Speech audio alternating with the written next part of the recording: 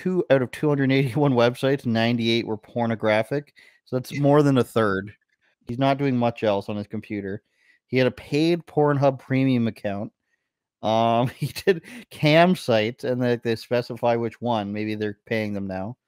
Um, and he would he Googled his sister's partying and arrest history among Googling himself. Like he, he's searching porn, he's searching himself, he's searching his sister. Just he's all over the board here.